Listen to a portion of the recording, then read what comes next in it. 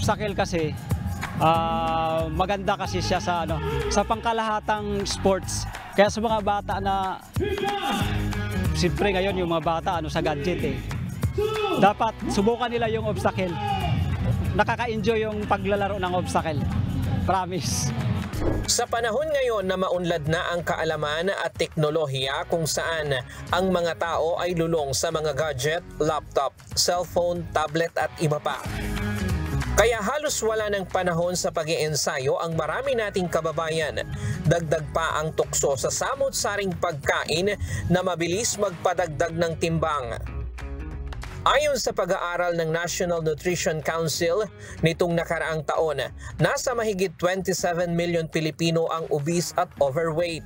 Ang mga may ganitong kondisyon ng katawan ay mas mataas ang posibilidad na makapag-develop ng sakit gaya ng diabetes, cardiovascular diseases at mga chronic disease.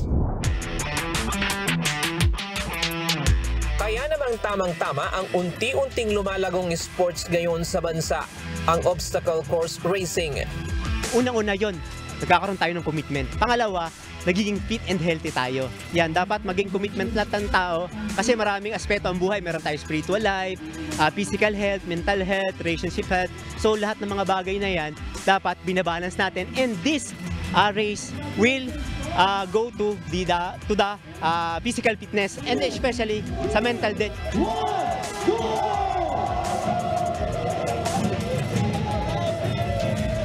Isinagawa ang ikalawang yugto ng Titans at KD Rock sa Orani, Bataan, kung saan mas maraming sumama sa kompetisyon. Mas pinahaba at mas challenging din ang mga obstacle ngayon na nasa loob ng 7-kilometer trail. So, marami po itong mga uphill, no? Tapos may bago tayong 2 kilometer na hindi nila inaasahan na super bago po ngayon. Hindi nila to nadaanan nung nakaraang mga races natin. So, ayun, siguro dun sila nahirapan kahit yung mga elite natin. So, mga na, na-interview natin si Coach Jeff. Sabi niya, napakahirap daw nung trail natin ngayon.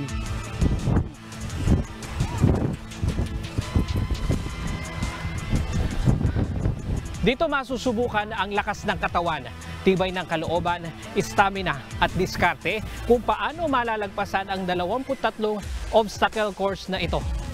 Kabilang sa mga sumabak sa Titans at KD Rock ngayong taon ang ilang mga national athlete na pambato ng Pilipinas sa ibang bansa.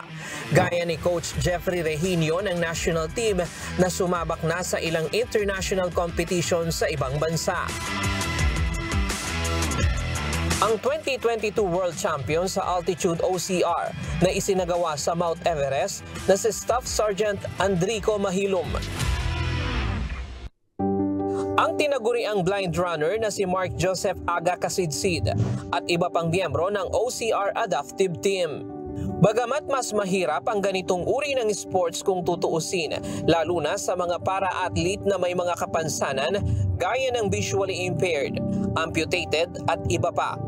Pero kapag nakakapag-inspire sila ng kapwa, ay may kakaibang sayang nararamdaman.